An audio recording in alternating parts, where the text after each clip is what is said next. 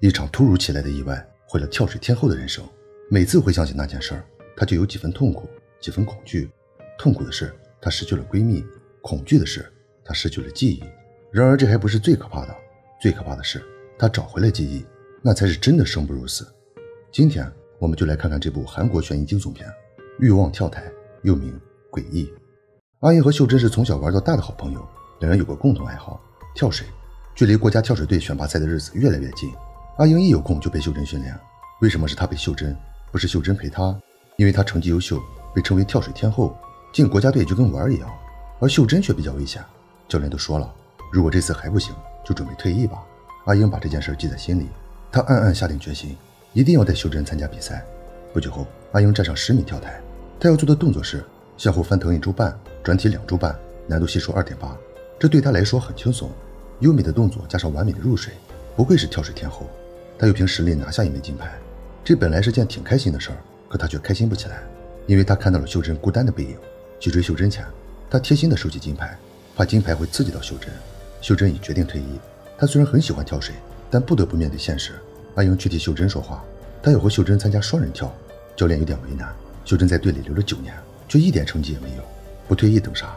双人跳可不是过家家，先不说得降低难度照顾秀珍，两人都没一起训练过，怎么能做到完美同步？就算能做到，因为双人跳损失阿英的单人跳，这个后果谁来承担？阿英信心十足，把两个都做好不就行了？教练问他要照顾秀珍到什么时候？如果有一天被逼入绝境，还会像现在这样护着秀珍吗？阿英的答案是会。他从没想过放弃秀珍，在还是孩子的时候，两人就因跳水结缘，一个经验丰富，一个刚刚接触。经验丰富的一直在教导刚刚接触的，从此两人成为无话不谈的好闺蜜。秀珍虽然总是不行，但阿英一直在照顾她。一直拉着他往前走。既然你决定参加双人跳，那就好好训练。然而第一次训练就以失败告终。玩的是双人跳，可跳下去的却只有阿英一人。阿英没把这当回事儿，可在别人看来，秀珍过分了。阿英好心陪她训练，她却连跳都不跳，让阿英难堪。晚上，秀珍买了个鱼缸回来，还有两只水母，一个比较华丽，一个比较普通，就像他俩一样。阿英让他别想那么多，把精力集中在训练上。可他不想挣扎了，自己被笑话不说。还会连累阿英，阿英继续鼓励他，为他加油打气。功夫不负有心人，接下来的训练非常顺利。秀珍的表现超乎想象，一个不行的人突然行了，难免会被人说闲话。这不，大家私下都说秀珍吃了药，所以才会实力大增。就连阿英也难免会这样想。回家的路上，阿英劝他别碰违禁药品，他转头看向阿英，结果一不留神，车飞出护栏，从悬崖上掉了下去。阿英昏迷了整整七天，醒来时丢失了一部分记忆，完全不记得发生了什么。而秀珍则下落不明，警方很快便介入调查。事故现场比较偏僻，没有摄像头，警方无法判断开车的秀珍是什么状态。目前怀疑是酒驾导致的事故。阿英否认了这个推测。秀珍从不喝酒。警方走后，阿英拿出钱包，两人的合照已模糊一片。这难道是在暗示什么？事故给阿英的脸上添了道疤，医生特地嘱咐阿英，痒了也不要抠。阿英来到病房门口，队里的人正在谈论她和秀珍，大家觉得她继续参加比赛有点勉强，而这事都得怪秀珍。阿英冲进病房，把他们赶走。有个女孩想跟他说点什么，但话到嘴边又说不出口。阿英突然想起，出事那天，秀珍倒站在十米跳台上，那一跳堪称完美，连阿英都自叹不如。不久后，阿英出院，她要为接下来的比赛做准备。再次站到十米台上，入水的一刹那，她看到了秀珍，水花溅得老高老高，把旁边的人都看傻了。她再次来到十米跳台，越往前就越害怕，她竟然对跳水产生了恐惧，这样下去会失去参赛资格，怎么办？找个没人的地方偷偷练吧。别看经纪人给他找的这个地方脏乱差，找个保洁公司一打扫，顿时焕然一新。除了灯有点吓人，其他地方没话说。阿英做好了跳水的准备。这时，身后传来急匆匆的脚步声。回头一看，出现的是秀珍。然后唰的一下，阿英入水，消失的记忆再次浮现。那晚，秀珍说自己申请了个人赛，并且通过了协会的审核。阿英已进入梦乡，一只手突然伸了过来，抠她头上的伤疤。她猛然惊醒，拿起镜子一看。伤口正在流血，本该紧闭的房门也开了个缝。难道是秀珍来找她了？看来这对闺蜜并不像表面那样美好。天亮后，阿英来到警局，警方在车上发现了秀珍的包。阿英之前说秀珍不喝酒，但据警方了解，秀珍在一年前有过酒后事故，举报人收了她的好处，所以才没公开这件事儿。阿英不知道这件事儿，但教练知道，秀珍已经有过一次前科。警方有充分的理由怀疑，这次事故是醉酒导致的。从车损程度和现场痕迹来看，当时的时速在一百以上。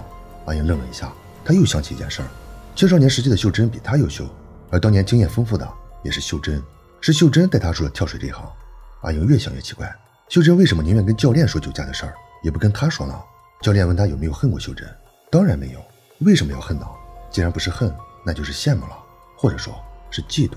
阿英陷入回忆，参加青少年比赛时，秀珍正在准备最后一跳，他跑去告诉秀珍：“快去医院看看，你妈的情况很不好。”秀珍没去，他要先完成比赛，最后一跳只要不失误，他就能稳坐第一。这次的动作是倒立跳跃，旋转两周后入水。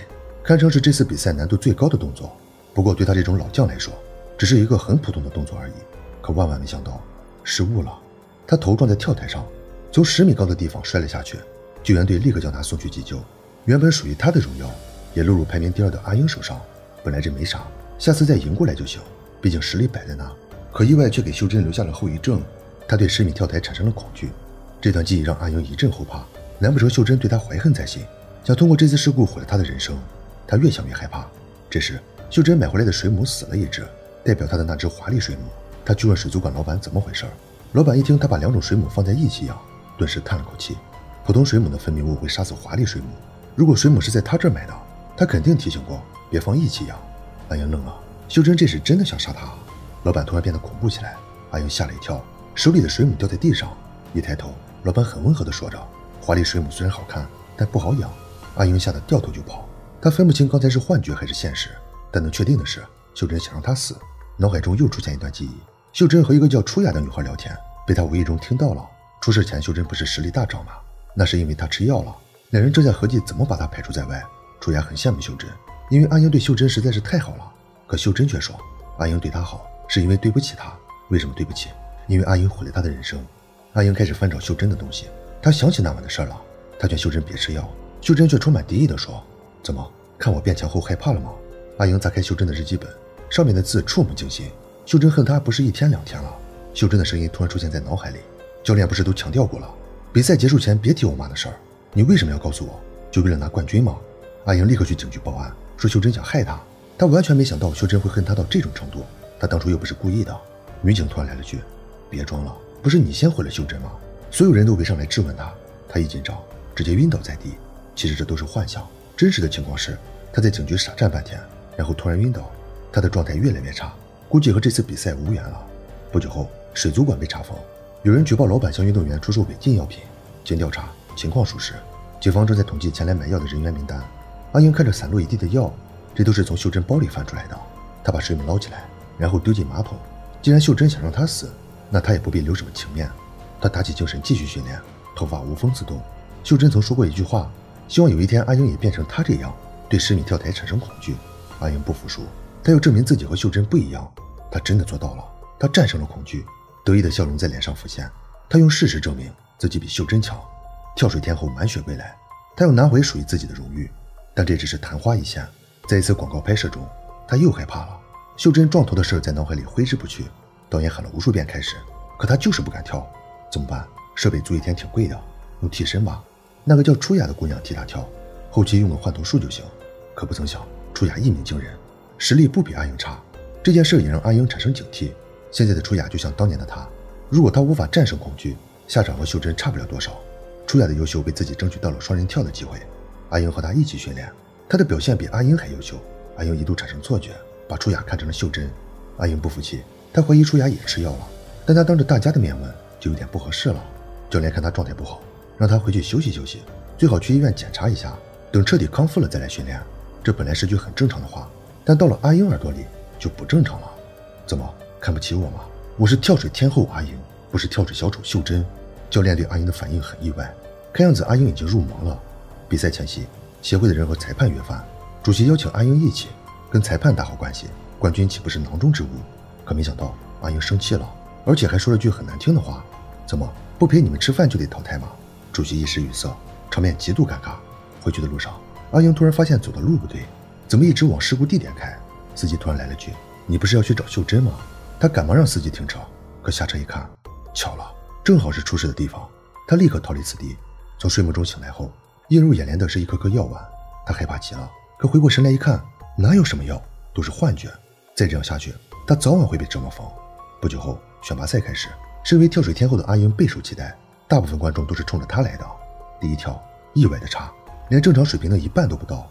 第二跳开始前，秀珍的话又出现在脑海里：“真希望你能感受到我的痛苦。”大家都在等她跳，结果一如既往的令人失望。好在分数并没有想象中那么糟糕，估计一半都是人情分。第一阶段结束，她暂时第一，朱雅以三分之差位居第二。阿英不淡定了，这样下去，第二阶段必败无疑。他的精神状况越来越差，秀珍的话一直在脑海里挥之不去。他躲到角落里吃药，试图以这种方式对抗恐惧，可不曾想被教练发现了。那幽怨的眼神让人心里一寒。教练让他别依赖药物，这样会毁了自己。他说这是秀珍的药，不是他的。他接二连三的犯错，教练已经无法容忍，口口声声说自己和秀珍不一样。可他现在这样和秀珍有什么区别？话没说完他就要走。教练问他到底怎么回事，他一冲动推了一下，教练的头撞在窗台上，人已经失去意识。他没有叫救护车，而是选择了逃跑，并不断暗示自己这件事和自己无关。来到外面一看，经纪人和初雅有说有笑，看来这次拿不到冠军，初雅就会成功上位。他跟经纪人吵了一架，然后一脚油门直奔黄泉而去。继教练之后，经纪人也被灭了。他魂不守舍地来到游泳馆，初雅正在训练。他冲过去把初雅推下去，一看初雅还活着，然后轻轻一跃，把初雅往水里按。初雅拼命挣扎，他一脚蹬开初雅，浮出水面，然后往那儿一坐，看着初雅的身体渐渐浮上来，他笑了，发自内心的笑。以后再也没人跟他争第一了。本以为做完这些就能结束，可秀珍的声音还是挥之不去。他微微一愣。零碎的记忆在脑海里浮现，刚才发生的一切都是幻觉，那都是他曾对秀珍做过的事儿。他找回了消失的记忆，真相大白的那一刻，他的痛苦并未减少，反而还多了几分不可思议。那晚到底发生了什么呢？秀珍确实吃药了，他也确实劝过秀珍停药，可秀珍却做不到啊！跳水是他人生的全部，没有药，他连跳台都上不了。那种感觉真的生不如死。他爱跳水，却怕跳水，只有药能拯救他。阿英理解不了他的想法，所以他才会说：如果你和我的遭遇一样。也会做出我这样的选择。阿英不信，在他的认知中，意志力可以战胜一切。说罢，便要扔秀珍的药。两人在暴雨中拉拉扯扯，结果阿英一使劲，把秀珍弄了个头破血流。秀珍用微弱的语气问出了埋藏在心底里的疑问：当初为什么要说我妈的事儿？阿英的解释是担心她，怕他将来知道了后悔。秀珍不信，如果问心无愧，为什么这么多年都没问过他？到底在恐惧什么？阿英答不上来，还是先送秀珍去医院吧。原来那晚开车的是阿英。秀珍突然来了句：“如果我们不是闺蜜该多好。”阿英转头看向秀珍，开车不专心，亲人两行泪。意外就是这样发生的。车子冲下悬崖，沉入大海。现在就差最后一件事了。秀珍在哪？为什么她只是失忆，秀珍却下落不明？答案很简单，因为秀珍死了。车子沉入海底后，两人想办法逃生，前挡风玻璃快裂了。阿英在秀珍的帮助下挣脱安全带的束缚，两人从车里逃了出来。起初还互帮互助，情深意重。可秀珍伤势太重。根本游不动，生死关头，谁还顾得了那虚无缥缈的情谊？秀珍拼命拽着阿英，阿英则拼命挣脱，这口气快憋不住了。阿英心一横，在求生欲的驱使下，他一脚踹开秀珍，选择了独活。这就是那晚所发生的一切。找回记忆的阿英无比痛苦，真相是如此简单，却无比复杂。他亲手毁了秀珍的人生，无论是有意还是无意，他都有不可推卸的责任。可求生呢？他只是想活着而已，难道这也算错吗？他是活下来了。但却比死还痛苦，这道无法愈合的伤疤会伴随他一辈子。欲望跳台是申米尔时隔四年后的回归之作，毫不夸张地说，这部电影是靠他的演技撑起来的。